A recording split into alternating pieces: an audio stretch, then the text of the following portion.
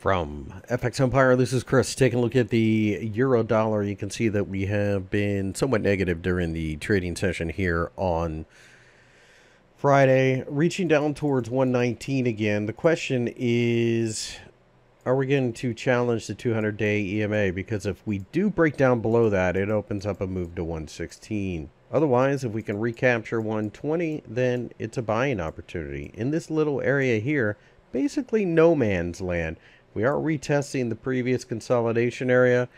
One would think we would bounce, but you'll have to keep an eye on those 10-year yields in America. If they continue to rise, that's negative for this pair.